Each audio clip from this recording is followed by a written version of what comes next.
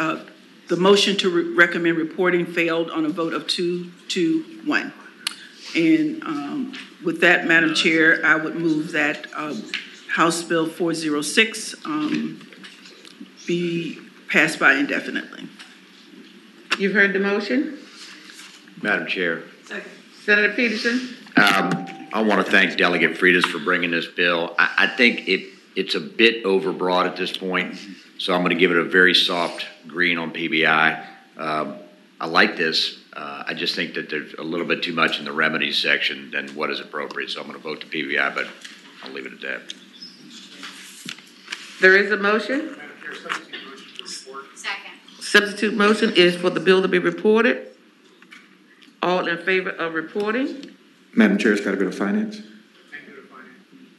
If it passed.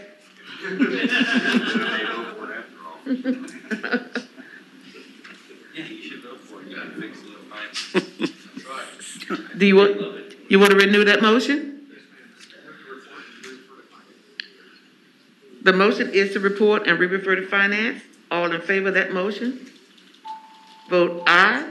Noes have the same right. Aye six, noes nine. Aye six, noes nine. The bill is not reported and will not be going to finance.